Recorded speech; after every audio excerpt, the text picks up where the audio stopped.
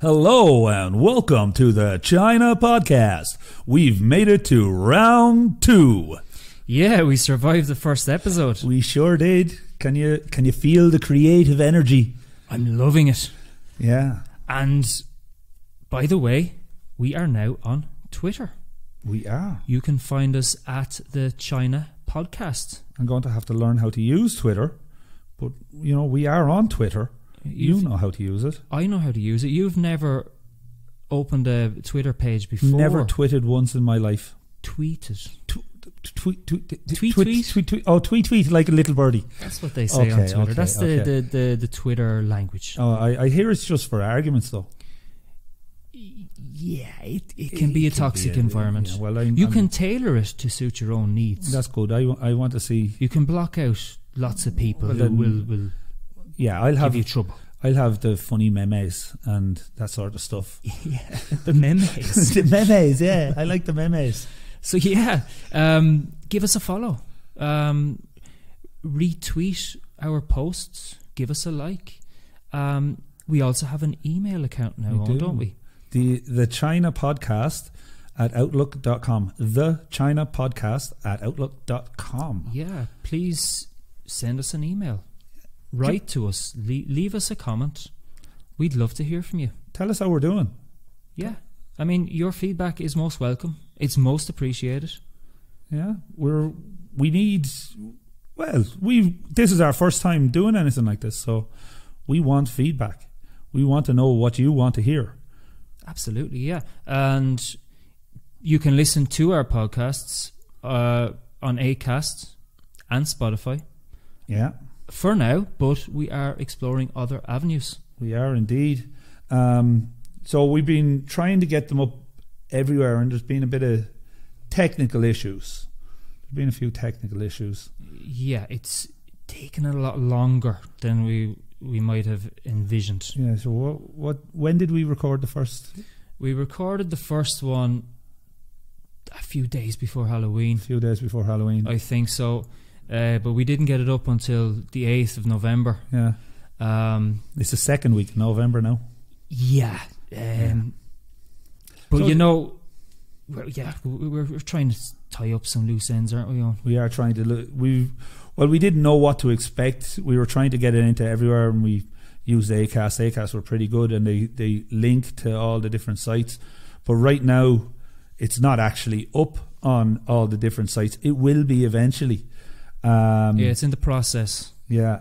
It's, Um, we are awaiting approval. we are awaiting approval from many different things, and we didn't know what to think when we launched ourselves into it. But Rome wasn't built in a day. That is true. Um, that is very true. But so far, it's been a blast. Yeah, it's becoming a passion. Yeah, it takes a bit of work, but it's paying off. It's paying off. It is, and you know, when when we first sat down to discuss the concept of creating a podcast, I think we pretty much decided from the outset that we would first do it for ourselves. Yeah, and the rest will follow. Like we're we're learning how to do it as we go. We're learning on the job. Yeah, precisely. Now, I mean, if we are satisfied with the product, then somebody else will too. Yeah. Well, like if we can reach one person, then we've done something right. Yeah, unless that person is a serial killer. Oh, then we're fucked. What about that? Well, that guy in Belgium that's been listening. That one listener we had in Belgium. I wonder is he a serial killer? God, I hope not. I hope not. Uh, if you're listening to us there in Belgium, um, yeah, send us an email. Tell us who you are, and you know, don't kill my family. Don't send an assassin. Yeah, I don't want. I don't need an assassin. But luckily for us, it's quite hard to get into China at the moment. So Yeah, I we're s- we're safe for a little bit. yeah, we we, we are. um, yeah, Eoin, I must say, you seem uh, full of beans this week. I'm feeling good. Feeling good. Feeling spicy. You know because like Chongqing hot pot, eh? Yeah. Because you know you weren't quite your boisterous self last time we sat down to record. No. Could kind no. of hear it in your voice. You Yeah. were you were somewhat lethargic, Oh, it was one of those days. It was one of those days. or what us expats might call those China days. Exactly. A China day. Do you have many so-called China days on? Ah, once in a while. Once in a while. Once in a blue moon. Today was nearly one. But it wasn't. It wasn't. It was sunshine is out today. It's cold yesterday. Today is not one. It is. The fog is cleared. Yes. Um, bright blue skies. Mm, yeah. Always good for the mood. Isn't it? Um, yeah, but the talking about China days, you know, in my experience, maybe once or twice a year, I, I have a an old China day. Yeah. Nothing too extreme, thankfully, but you know, expats they do need a great deal of patience sometimes living in China. It's kind of it's difficult. It's, Yeah. It can be difficult. It can be difficult. There's, there's the old cliche, I suppose, of putting it down to cultural differences. Yeah. But you know, I think from an expat's percep- perspective, it's it's got more to do with a lack of understanding or a lack of maybe consideration on the part of the, the person you're dealing with. Yeah, it's because it's so homogenous. They they know their way of doing it, and they don't know the other way. And it's it's essentially you get China days when you get screwed over by unreasonable expectations. I think that's the one. And always at short notice. Oh, 99 percent of the time. Today it was five minutes before I had the thing to do. Always the way. And I mean, in these scenarios, a bit of homesickness can start to creep in. especially if you have a plan, you're you're, you're always questioning like, why did I ever? Why did I ever get here? How did I end up in this place? Like, Yeah, why did you get on the plane? to begin with. Um, but I mean, China was your first and last stop on a round the world trip, wasn't it? Eoin? was, yeah. I don't know. That's a it's a bit of a bit of a mad one, yeah. But yeah, I We're, was we're- going the we're going back a while, I think. Yeah, going back a fair bit, yeah. Not this Um, decade. Was it the la- Was it the pre? it was previous decade or the one before? Yeah, yeah, yeah. something like that. Something like that. Yeah, I only stayed. I stayed in China because I stayed in China because it was it, it it was a pretty happening place. It was a pretty pretty pretty cool place. It was completely different. The expectations, the culture, everything. It was completely different to what you'd expect. Right, right. Uh, do you have any regrets about No. not continuing on your journey? Ah, you think about it every now and then, but no, no, no, no. Um, do you know what I find good for the mental health when we have these kind of setbacks? Serial killers? No, not serial killers. No.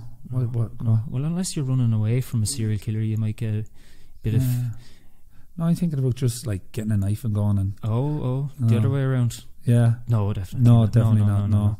nothing like that. nothing no. like that. Something very simple like going out for a walk or even a run. Yeah, I, I, it is great. To, it's great to get outside, and like just having a bit of exercise helps clear the head. Um, you know, to, like I said today, just a sunny day, just uh, coming out off of the cold day yesterday. It's just great for the endorphins. So you're you're training for the, or no, that's you were training for the Chongqing half marathon. I was, yeah. Um, it was supposed to be on the 5th of December, but Mm. it's been postponed. Yeah. Um, hopefully they, they reschedule it sometime soon. No idea what time or anything like that. No, It could be the 5th of December 2022, uh, could for be. all we know. For could be we know. Yeah, we we had a, a bit of a COVID scare in, in recent days. Not not so bad. Like I was, I, I was still working and all, but there's stuff closed. Certain areas of Certain areas. of the city were closed. Yeah, Not everywhere, not everyone. um, but yeah, there So- were only like five or six cases Yeah, something like that. over the first two days, and then since nothing. there are five or six cases, and then they shut down half of the city. Yeah, uh, and that goes to show. And, and when I mean shut down, they they locked them in. Like yeah, yeah, yeah. They they locked down neighborhoods basically, yeah, and basically they just lock down the neighborhood, and you're not getting in or out. And then you, there's a, a health code if you go near the area, you, you're tracked and traced, and then you get a big red on your on your health code yeah, if you've gone through a, you've gone through a, a high risk a area. high risk area, yeah. Never seen a red one actually. Have you ever seen a red one? Uh maybe a screenshot or something, or a Mm. yellow one. I've seen a yellow one, You seen a yellow one? Uh, just somewhere in the middle, I I've only ever had the green, and then the gold outline saying that you've been vaccinated. yes, the goal outline around your your vaccination code. That's pretty cool. It's pretty nice, yeah, yeah. Yeah, Um, running. You how like the half marathon? What? How do you train for a half marathon? Well, talking now from complete inexperience, I guess a lot of dedication and commitment as well as a willingness to put in the miles is involved. Uh, so. like, I mean, I've never run in a half marathon before, but this time last week, I had never run more than 12 kilometres in one go. But you know what? I managed 18 kilometres. That's a hell of a go. That's a fucking lot. And it was tough because of the route I chose to take. Uh, now, I was naive, I'm going to say that much. That's In my the- house to your house about six times. Yeah, probably, yeah. Um, But you know, like I hadn't run that route before, and the thing about it was I was unaware, completely unaware of the terrain. Um, and it was mostly like up and downhill. Uh, the uphill being on the way back. Way back from where? Where were you going to? Uh, the way back from the Jialing River. There and back again from my house. That's that's what it is. Oh, the Jialing River, there and back. A Hobbit's Tale by Bilbo Baggins. I, I don't know. Bilbo loved the walking, but I'm not so sure about running. Now, there were plenty of times he had to run away from them orcs. Ah, but he was cheating. You know, yeah, he was wearing that ring. Yeah, that's just doping. That's uh, doping in the Tolkien word. Vada be after him. yeah. Um, yeah, there, but the the return journey involved like this one continuous uphill slog of, of four kilometers or five even, Love it. and yeah, towards the end of it, I was a kind of crawling pa- uh, Yeah. pace. Um, but you know, the strangest thing happened in that once I got to the top Yeah, and I kept going, you know, the terrain it flattens out, yeah. and I got this this second burst of wind, and started to speed up once more. Yeah, hats off to you. Uh, but yeah, I, I have lots and lots of work to do yet. Um, but I, like I'm happy that I broke that that kind of mental barrier, um, and I know now what I'm capable of, and I'm, I'm confident in pulling it off. Um, Whenever they put it on. Whenever they put it on again, yeah, I I would have had, speaking from now, about just a little less than a month to go. Yeah, Um, I would have got in enough training between now and then, but to do it, yeah. I've still got a little bit longer now to. Yeah. You got the running bug yet? You got to. I don't know. Um, I mean, I can say that I enjoy it. And why, why did you decide to do a half marathon? Well, there's a group of guys here in Chongqing who are bloody mad into running, um, and a few of them have run in, in half marathons before here in the city, and I kind of taken inspiration from them, to be honest. It's good to have. It's good to have lads around, a bit of camaraderie, bit of bit of team spirit, you know, and and and they can they can keep you going. Yeah, absolutely. Like if you have mind like-minded people Yeah, in your in your circle of friends, your your circle of yeah people around can you. inspire you to get up in the morning. Absolutely, yeah. Um, and you're back playing football again, isn't that right? I am. It's just a seven aside on the Tuesday. Um, don't not going to be playing any games on way at the weekend. Um, it's nice to meet the lads, have a kick about, um, getting a few kicks. I'm not not fit enough to be honest, um, but it gives me a bit of added interest and another reason to get fit. Yeah, and I mean that goes for both of us. Actually, we've joined. We've both joined the the Chongqing International Football Club. Uh, they're sitting pretty at the top of the table. Three wins from three. Three wins from three and a goal from the from his own half by Fernando. Wow, wow! Yeah, I missed that one. I did see the video though. Yeah, I I missed that one too. Uh, but yeah, the perfect start. You ever try fishing? Uh, maybe once when I was young. Why is that your next venture? No, you see that the have you seen the big lake that they're building? Um, it's being built in the middle of the new park here beside us. Is it finished yet? It's nearly finished. It's nearly finished. You think you'll you think you'll be able to fish in it? Fishing in, in a public park? Why not? Why not? You have to make use of what's around you. If there's, I often see people fishing in the rivers. All the rivers around Chongqing, people fishing them. Nice way to spend an afternoon. You know, my wife's family, they have a pond. Um, it's, ah, it's pretty, it's too big to call a pond, too small to call a lake. Um, but they they have fish in it, and then they, they catch catch fish, cook it for the dinner. It's great. Right. What? So they just fish in this pond? Yeah, there's a lot of fish in it. You, whatever you catch, you cook. that's for dinner. And if you don't catch it, and you kill a chicken or grab some eggs or plenty of vegetables around, you know, fruit, best food you could eat. I swear to God, best food. Just it's right there in front of you. It's so good. That, that sounds cool.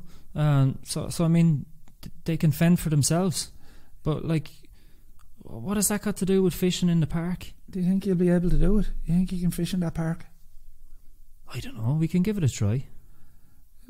I'd like to give it a try. I, I, I'm, I'm, if I see somebody fishing in that park, I'm going to get a rod and I'm going to go down and I'm going to fish in that park. Is there any law or rules against not fishing in a pond or in a in a, in a lake in a, in a public park? I have no idea. I have no idea. I see lads fishing everywhere, everywhere. Anytime you see water, lads go fishing. Aye, but like they do all sorts of things in parks, you know. Yeah. Um. I mean, I I imagine this this park will have some exercise machines, will it? Like like in other parks. I'll have loads of them. Yeah, The old people they love them, yeah, they do indeed. uh, and of course you've got the women dancing, and the kids walking around with their with their candy floss and balloons at the weekend. The candy floss is great. Have you ever seen them? with All the mad designs on them. I Oh, the pink and the yellow and the white, very colourful, They are. Yeah, very very very trendy. yeah. Uh, They're really hipster like. Yeah, this is all the, the usual kind of stuff that you, you'd see in a in any Chinese park, really. Yeah, them parks in China anyway, they get a lot of use, and the exercise machines they get a lot of use too. Uh, yeah, it's a great alternative to going to the gym, especially for those who probably don't have membership or a yeah, or a bit maybe self conscious, I suppose, about gyms. Seen a few of them outdoor gyms when I went home a couple of years ago. Yeah, it, it seems that you know when Beijing had the Olympics in two thousand and eight, the country went on a kind of like a fitness drive. Um, they installed public exercise machines everywhere, and I mean that seems to to spread to other countries around the world now. Yeah, it has yeah. It's not just the parks either. There's they they put them in the residential areas, put them in the residential buildings. Yeah, Yeah, they're they're around most uh, apartment buildings and in many public spaces. Um, I mean, they get used to.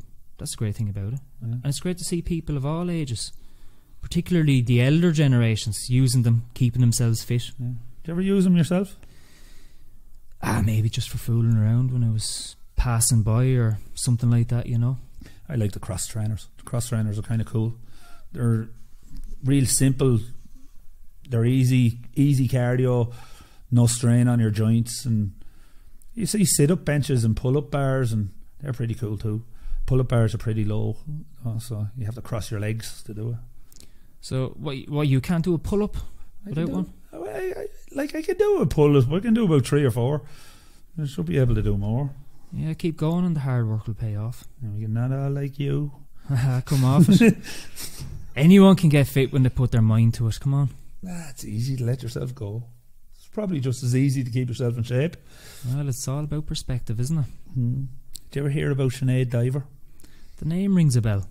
She's from Belmullet, Belmullet in County Mayo.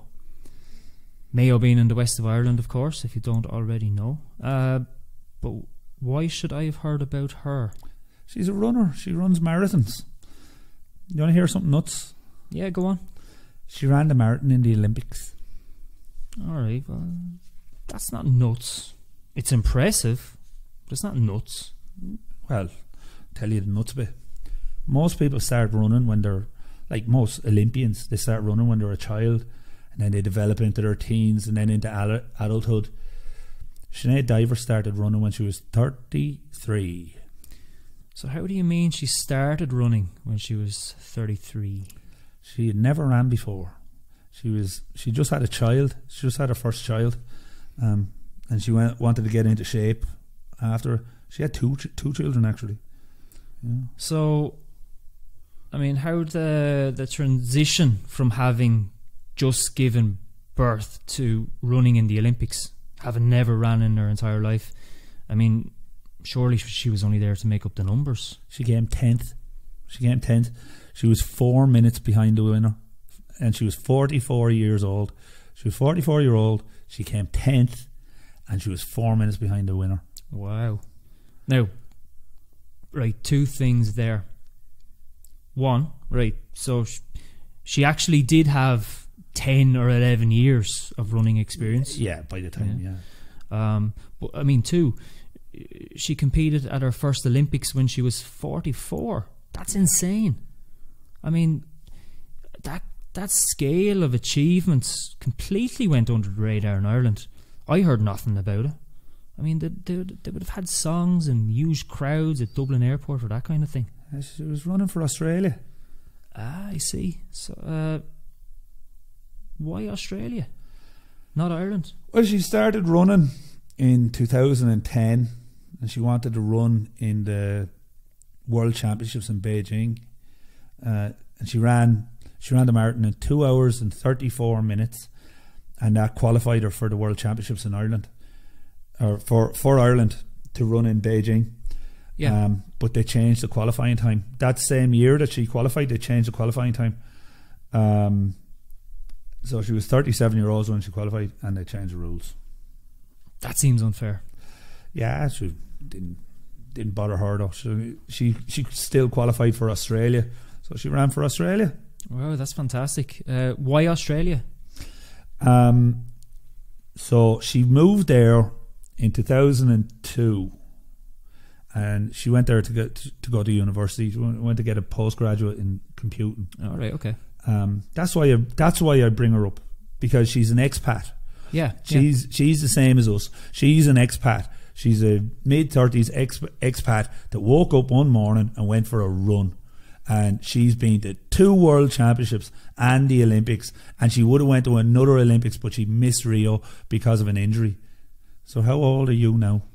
I'm in my thirties. And you're running your first half marathon? Well, I mean, it's hardly the Olympics, is it? Well, you never know unless you try. Well, there's hope for you yet. I mean, I, I read a study that people who exercise regularly when they're younger, they've they've hearts, lungs, and, and muscles even equivalent to people in their forties when they are in their seventies. It sounds it sounds interesting, but I'm already in my forties. It's already too late for me. It's never too late. Come on. Ah, take it one day at a time. Take it one day at a time. So anyway, so these exercise machines. Big question is for me, why? Why, why, why are there so many outdoor gyms in China? So we found out. And the answer is actually quite complex. It, um, it's got the Olympics, it's got demographics, it's got nudge theory, and it's got global wellness goals from the United Nations. Yeah, so in China, installing free facilities was initially aimed at getting the aging population outdoors. And it was part of a fitness drive surrounding the, the 2008 Be- Yeah. Beijing Olympics, right? Um, now, when the Olympics came to China in 2008, there was a lot of national pride surrounding it, a whole load of national pride. And you know, Chinese people they love the Olympics. They love their sport in general. Um, I mean, here it is much more common to see uh, like random medalists advertising anything from powdered milk to, to life assurance. Um, and of course, the Beijing Olympics was the first time that China, a country with with such a massive population, had hosted the event. Yeah, I think it. I, think a lot has to do with the amateur aspect of the Olympics as well. You know, kind of fits in with the the communist ethos or whatever. But you know, they had big fifty meter Olympic rings on the Great Wall at Badaling um, when I was there. Oh, geez, 2010. So it was just after, just after the Olympics. Beijing is actually hosting the Winter Olympics next year as well. That's right, and let's hope that one goes Or ahead. is it this year? Uh, no, t- 2022. 2022? So January, I think. January. Yeah, We're only two months away. Yeah, yeah, yeah. Two month, two and a half months. yeah. Um, but yeah, the, the the Olympics in 2008, the the actual Olympics, not the winter ones. Um, it was a real big deal. Was. I mean, you had, I think, 10,000 competitors from all around the world yeah, uh, competing in China for the first time. Um, and what they did here to prepare for that was they expanded infrastructure. They they reassessed congestion controls. They they began to seek alternative power sources. The planning stage went far beyond what would be considered the normal scope of the games. Um, planning for the games not only covered the logistics of the games themselves, but also public health in general. Um, and the Beijing Games was the most expensive Olympic Games of all time, costing somewhere between 40 and 44 billion US dollars. Um, of course, this was this was passed by the Sochi the Sochi Winter Olympics in Russia in 2014, but that was down to massive financial mismanagement. Yeah. Well, I don't know. Did Putin get a few bob for that? Probably. Oh, yeah, him and his But, um, cronies. But yeah, they built they built six new venues, um, and they they renovated loads of other ones, um, and they built a, a massive public park, um, and that cost over two billion dollars. Um, one of those buildings that was built was the the Bird's Nest Stadium, um, which is a fantastic stadium. Actually, re- it really is pretty. Um, it's got stainless steel girders that are, are shaped like a bird's nest, Okay, um, yeah, yeah. and it's really quick to get in and out of because the when you enter into the stadium, you actually enter into the middle of the stadium, and it's an entire concourse across the the middle of the stadium. So, you know, it's pretty cool. Um, but my favorite now is the aquatic center. The aquatic center is is they call it the water cube. It looks like bubbles, and then at night they have um, lots of different. It has a light show. It has the the usual Chinese light show, but because of the the texture, I suppose, of the outside of the building, it looks really cool. Yeah. Um, now I mentioned that there was a drive to get the aging population outdoors. The, the people that came to, came with the games. Um, in China, much like any other country, there are sports lotteries. You know the ones you pick some numbers and win an exorbitant amount of money. Uh, in the run up to the games, one third of this money was generated by these sport lotteries, uh, and it was used to fund outdoor gyms. The government, through the lottery, installed 20 million metres squared of outdoor public exercise equipment. And that's Uh, that was just the start of it because they didn't stop. Then No, they no. kept going. Yeah. I mean, for Americans out there, that is 220 million square feet of public gyms across the country. So, Eoin, why did they do that? Now, have you ever seen the film Wayne's World 2? So there's a guy, there's an Indian, there's a half naked Indian in it, and he says, if you book them, they will come. What do you mean? There's a concept in behavioral economics, and it's called the nudge theory. Have you ever heard of nudge theory? You're going to have to explain that one to me. Right. Well, an easy way to explain it to you and to all the men listening out there would be painting a fly on a urinal. A fly on a urinal. Right, fly on a urinal. What's that all about? So you're going to the bathroom and you need to use the urinal, but you see a fly on the urinal. Okay. Most people, most people will try to hit the fly. Right. that's what they'll do. They'll Yeah. try to hit the fly, right? now that's nudge theory. Okay. okay. now, in really, it's in really simple terms, right? It's it's positive reinforcement and indirect suggestions. Okay, and it's used to influence decision making. So, if you go to, because like a, guy in a a guy in a in a, in a a pub owner, a, a bar owner, he doesn't want people to, you know, kind of spray urine all over the, the urinal. Of course he doesn't. He wants people to pee on that fly. Yeah? All right. Would would it, would it, would it not sp- when the when the pee hits the fly? Would it not kind of spray off? No, but the, the fly is in different the right, the fly is in the right place. You All know, right, the fly is in the right place that it doesn't spray off everywhere. right. Like you go to the world, the the World Cup that was on. Yeah, you go into the urinals. I'm sure people have seen this. 'cause It couldn't have only been me. But Okay. in some bars, you see uh, little small plastic goals with kind of floating footballs in the in the plastic goals inside the urinals. All right, where you have that kind of little meshy thing. little meshy thing, and you'd have it, this Yeah, little yeah. ball, and you'd you'd you'd pee on the ball, and you know the you, because of course you are. You're watching the football. You're going to pee on the ball, right? And so basically, right, it makes people do what you want them to do, and what's good for them, without actually telling them to do it. You you you basically put the person's decision, you put the decision in people's brains and there was no decision there before. So you're just putting a decision in their brains where there wasn't a decision before. And people mostly choose what's beneficial to them. In the case of the fly, people realize that it's not a fly. It's a it's they realize really quickly because they try to pee on the fly and the fly doesn't fly away. But they also rationalize after trying to pee on the fly that that's probably where they should pee anyway. and so they pee there. Right. To, to create the, the least amount of mess. Least amount of mess. Least amount of mess. All right. And what does that mean in the larger context? Right. So let's take a larger context. Take this nudge theory and blow it up into a larger context. You go the case of China, right? So you got in China, you've got older people. You've got an elderly generation of people who meet outside and they sit at benches and they sit at tables and they play mahjong. Um, they play Chinese chess. They play cards. They're always outside. There's there's people outside that go dancing every evening. They do tai chi. Um, you know, in the parks, you see guys hitting spinning tops with whips. Um, could be anything. You would, like you, you never know what you see in a park.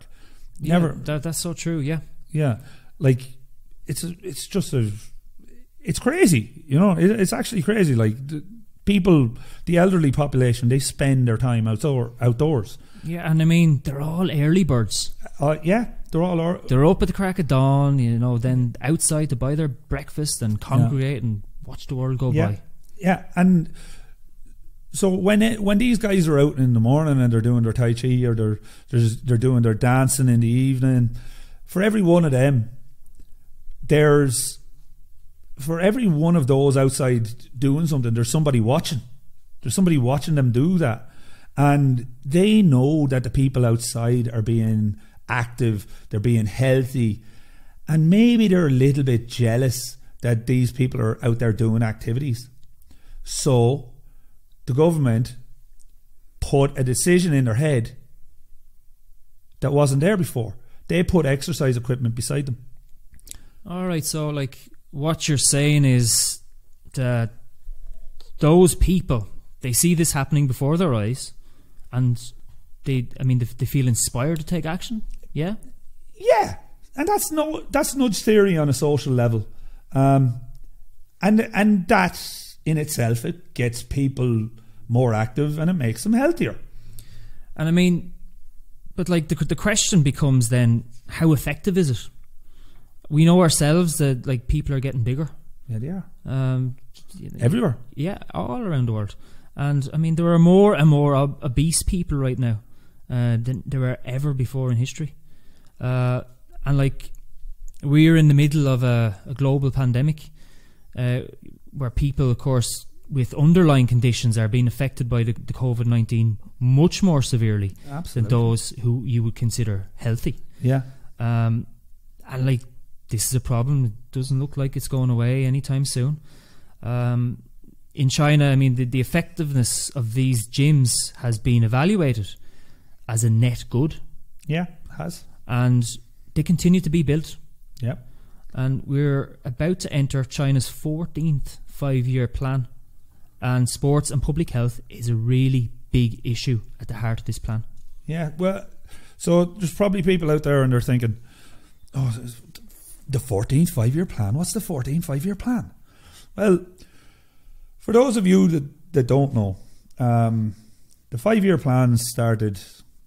Let's see, we're not going into the 14th, so it's 65, about 750 years ago. No. you can do the maths. They're five year plans. Right, so we're going into the 14th of them. Now, the five year plans, what they are, they're initiatives and they guide economic and social policy for the next five years. So their guidelines for what the the local, provincial governments, what their planning has to be based around. So they say, well, we want more of this, and then the local governments they get more of that. All right, and so we're in the 14th five year plan now. Uh, China, during the 13th five year plan, uh, it looked at sports and health as something which is and can continue to be a net positive for the country, going so far as to say it can be a pillar for national economic growth. And so they are looking at to further expand this during the 14th five year plan. Yeah. Uh, on the agenda is reaching a level where 38% of the population receive what is determined by experts as enough exercise. Now, to give you an idea of what sport is worth in China monetarily, the GASC and the National Bureau of Statistics they jointly announced in late 2020 that sports related businesses in China generated around 1.12 trillion yuan. Now that's about 170 something billion dollars. Yeah. Uh, and this this this in revenue in 2019 uh, up 11 12% from 2018. Um, and all this contributed to a total industry value of over 2.9 trillion yuan. Uh, total output was more than 10% higher than in 2018. Uh, now that's a lot of money, and the number is getting bigger. Uh, like especially when you when you consider professional sports in China, um, I mean, it is comparatively not as popular domestically as in somewhere like the US or the UK. Yeah, because when you go to the US or the UK, and you talk to people, they they'll naturally lean towards baseball or basketball or anything or something like that. It- It's not like that here. Is it, like people don't lean towards like the, the the the Chinese Super League or anything like that. It just doesn't have the same traction, you know, as as would the NFL or the British Premier League. You know, they're just they're just more popular. But that one of the things there is, and this is a, a very valid point, is that the people who are using the exercise equipment right now, they're generally elderly. It's not always the elderly, but it's it's not the adolescents and the middle aged people. If we take, if you take the fitness industry, so gyms and stuff like that, there's a global average of market penetration. I like numbers, by the way. People who go in and spend money to get fit around the world is about 6.5% of the population of the world. Go in, spend money, get fit in a gym. Right. Now, China falls below that. China falls at about 4%. Now, if you take somewhere like Europe, where these leagues and and and where where professional sport is much more popular, um, it's about 7.8%. Um, some countries in Europe, uh, Sweden and the Netherlands, they're at 15%. So 15% of the population of Sweden and ne- the Netherlands pay money, go into the gym, and that's how they get fit. Now, comparatively to China, that's a you know China's at four percent, Sweden and the Netherlands are at fifteen percent. Um, those figures are from Deloitte, by the way. And you love figures. I do love figures, love an old spreadsheet. So, like, right, based on what you just said, there seems to be a big gap to close. Yeah, it's a huge gap, and it, there is a, a massive gap. And you say to yourself, how do you do it? You know, how do you do it? Well, you can force them, you can inspire them, or you could nudge them. Well, you can force a kid to do PE in school. You can nudge an elderly person in a gym, or to use the outdoor gym. But like, how do you inspire people? Well, the 14 five year plan is looking to address this also. Uh, they are looking at expanding the infrastructure around sports in general. Uh, they're looking at opening more sporting venues, holding more sporting events, and hoping to encourage the younger population to participate in more sporting activities. I'd like it to watch it. Yeah, and the younger population are more likely to join gyms and get involved in sport that way. Yeah. Well, we were talking there about the US, the UK, and China. um, and we know they're big big deals with the UN. Yeah. Now, in 2000 and 2015, and wait till you hear this name, the UN Office of Sport for Development and Peace. That's a glorious name. Isn't it fantastic? It's like the UN Office of Sport, right? The Office of Sport for Development and Peace. So that published a report um, on how to meet the Sustainable Development Goals for 2030. Those goals are they're they're pretty interesting. Those ones, you know. Yeah. So the sustainable development goals you're talking about here uh, are the ones which range from sanitation to equality for women. Um, and there's there's a long list of stuff on their Yeah, website which you can look it up. Look it yeah, up. you it's can cool. look it up. They're everywhere. Like they're the whole United Nations are looking to go go towards them. Anyway, that's them. Anyway, the United Nations Office of Sport for Development and Peace. Seriously, what a name! They report. They publish a report on how sport can be used to meet all of those goals. All right. So yeah, that but you know that sounds a bit pie in the sky. Yeah, Uh, yeah, like I suppose as part of a broader plan, it might work. Um, like take affordable clean energy, for instance. You know the the stadium that they will use for the World Cup final next it's year. big yoke. Yeah. Yeah, in in Qatar, Yeah. that's going to produce uh, a lot of its own energy through like solar panels. Right place for it. Yeah, and then you have the the Olympic Stadium in Tokyo too that, that uses solar panels to, to water plants in, in Good the idea. local area around that stadium. Did you know that? Yeah, good idea. Good idea. Anyway, the outdoor gyms thing, right? So we know this works, right? We know it works, and anybody, anybody of you listening outside of China, you can probably tell us about outdoor gyms in your area. Um, but there's a big difference. In Western countries, they've put outdoor gyms in many, many places, and they're mostly used by younger people.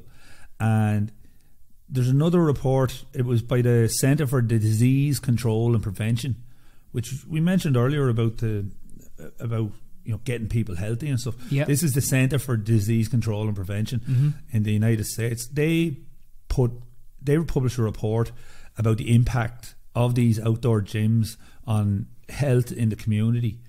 Um, to, in 2008, they published a few of them, and they found that when they put gyms in public spaces, it increases the amount of people getting exercise. So it's not people who wouldn't normally exercise; they actually go and get some exercise Right. and that directly decreases the prevalence of chronic disease. It increases the public health and decreases the Mm. prevalence of disease. And on the topic of health, like China's right to be concerned because it's facing severe levels of obesity and, and rising rates of chronic illnesses. Um, and, and the president, President Xi, has, has always called for a national fitness program. And he and recently, like changes to China's national sports law have been proposed. Um, schools they're expected to host mandatory gym classes for all their pupils every single day. That's pretty cool. That's pretty cool. Um, and this is just one of 55 revisions to the law. um, 55? 55, yeah. That's a lot. That's that's an awful lot. Yeah. This is Yeah. this this law has been in place, I think am I right in saying I'm going to have to fact check this later, but since 91, I think. Yeah. I was doing a bit of reading about it. So it's been in place a long time, and this is the, on this occasion the most revisions it has used. Yeah. Right, um, and it, like it also encourages contribution from the local government and residential committees. Uh, so it could probably have a, a significant trickle down effect. I like trickle down effects. I don't like trickle down effects, but this might be a good one. You know, trickle down economics is a waste of time, but this one might actually might actually work. Um, the UK they put in policies. Um, they have the moving more, living more. That's from the Olympics in 2012. Um, now uh, I got some figures on them because I love figures. Um, that shows they're they're right basically to have they're really worried in the UK about young people and health, they found that most adults were actually getting enough exercise. Um, over half of adults were getting enough exercise, but when you get the kids, young boys and young girls, almost a minuscule amount, like 16, 20 percent Mm, yeah. something around there. Um, and that's concerning. That's a problem because diabetes is becoming a massive thing, and which ties in with the obesity. Yeah. Um, 150 minutes of exercise a week. That's what you need apparently to get a 50% reduced chance of type 2 diabetes. Now, if you go and couple that with a good diet, um, healthy food, that dramatically reduces again. And do you know? I've been looking into the to the UK and their program because there's something I'm going to do, and you're my inspiration. All right. So what are you going to try? What are you going to do? Right. So there's a thing, and it's on the it's on a, the NHS website in England. It's the National Health Service website, um, and it's an it's an app for your phone. It's called Couch to 5K. Okay. So what does couch to 5k do? So there's a lad, there's a man in England, and he wanted his mother. He was worried about his mother. She was a couch potato. She sit down and watch Coronation Street, EastEnders. How of old was she? She was in her fifties, Okay. um, and she was she was overweight. She wasn't getting any exercise at all, and he came up with a plan, and this plan has became endorsed by the NHS, and his idea was to get his mother running within nine weeks, right? He had his 50 year old couch potato mother that didn't do any exercise running 5k. Wow. Good for her. That's a huge turnaround. It's brilliant. Mm. Yeah, I'm going to do it. I'm going to do it. And Yeah. I am. I'm going to do Are it. Are you a couch potato? I'm. I, I have a tendency to be a couch potato, but like I play football. and- You are playing football. yeah, That's true. I, I play football. I try to get out as much as I as I can. I, I could, as much as I can. I can do more. We Mm. can all do We more. can all do more, of course. Yeah. Yeah, I think it like, and you guys out there that, that are listening, you guys can probably do do more as well. Like, but I played football for two and a half hours last night, and if I can do that, I can run two. K I can run five k. So what you need to do is to stop eating donuts and come and run with me some evening. You reckon it's too late uh, now that they've postponed the Chongqing half marathon? You reckon any slots will open up? It is possible. You never know. But if not, you can always spectate. I'll bring the donuts. Save me one for the finish line. I will, of course. I will, of course. Anyway, so that's it for this week. Um, we hope you've enjoyed listening. If you're an expat in China, you ever find yourself overwhelmed, just take a deep breath, pause, take a moment to yourself, just go out for a walk, clear your head. If it's a sunny day, even better. Um, a lot of the times that's easier said than done, but you know you you deserve it treat yourself right. Treat yourself right. You deserve it. Yeah, and we're not just speaking only for expats in China, but the same goes for anyone, anywhere in the world. It sure does. Sure does. And remember, before we go, remember to look us up on Twitter. Yeah, and Look, uh, send us an email, write to us, give us some feedback. We'd love to hear from you. yeah, we surely would. All right, toodles.